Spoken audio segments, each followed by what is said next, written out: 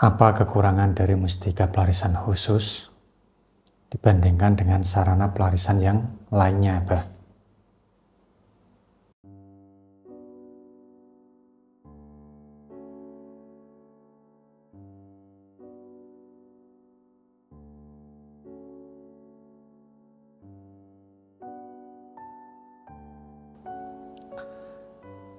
Assalamualaikum warahmatullahi wabarakatuh. Saudaraku yang dirahmati Allah Subhanahu wa taala. Salam sejahtera, semoga kita semua senantiasa diberikan kesehatan, kebahagiaan dan berkecukupan. Amin amin ya rabbal alamin. Jumpa lagi dengan saya Abah Romdoni melanjutkan video sebelumnya ya. Nah, jika di video sebelumnya sudah saya bahas mengenai keunggulan, ya supaya fair ya, akan saya share tentang kekurangannya juga.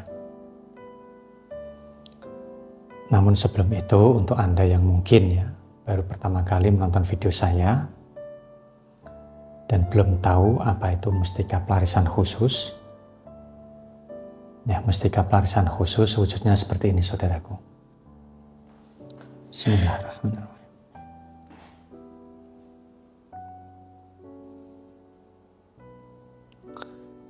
Ini adalah sarana benda bertuah ini. Bahannya berasal dari batuan alami, kemudian saya proses ya, baik secara fisik maupun metafisik. Nah, sehingga jadi sedemikian rupa.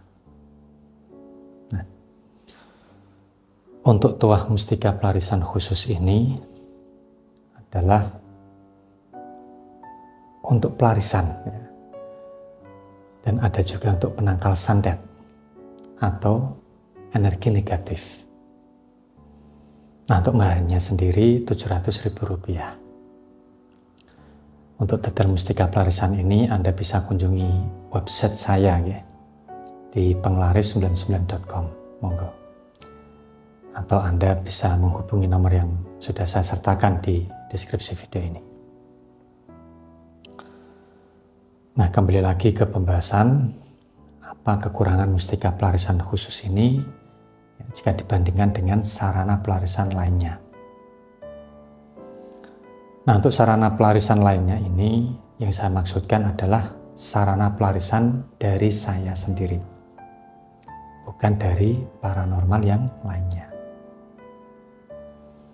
Nah, langsung saja untuk kekurangan yang pertama adalah hanya bisa digunakan untuk satu usaha dalam satu tempat saja. Nah, ini berbeda dengan sarana pelarisan yang lainnya. Yang bisa digunakan untuk lebih dari satu usaha. Nah, mustika pelarisan ini tidak bisa. Nah, jika Anda ada dua atau lebih, maka saran saya yaitu tadi satu mustika, satu jenis usaha dalam satu tempat. Nah, lalu kekurangan yang kedua adalah ini kurang cocok untuk jenis usaha dagang tertentu. Ya, tidak cocok ini biasanya karena produk atau jasa yang dijual, nah ini harganya tinggi. Saya contohkan, ya semisal untuk dagang mobil atau dagang rumah atau tanah. Nah, maka mustika pelarisan khusus ini tidak cocok atau kurang cocok gitu ya. Karena untuk hitungan omsetnya itu ya tentu akan rancau. Nah, jadi jika Anda memiliki profesi yang harga jualnya ini tinggi, Anda bisa memiliki sarana pelarisan yang lainnya ya nanti bisa saya sarankan yang lainnya. Dan pesan saya ya, sebelum Anda ini memahar pastikan dulu ya Anda sampaikan ya, usaha Anda ini apa. Nah lanjut kekurangan yang ketiga tidak bisa dipindah tangankan atau tidak bisa diwariskan. Ya, kalaupun bisa harus diritualkan ulang dan ini nanti ada biayanya lagi. Nah, kalau pelarisan yang lainnya ada yang bisa diwariskan ya, tanpa harus diritualkan ulang oleh saya. ya, cukup diritualkan ulang ya, orang yang mewarisi nanti. Contoh ya, mustika khotam macan putih. Nah, itu bisa dilakukan sendiri.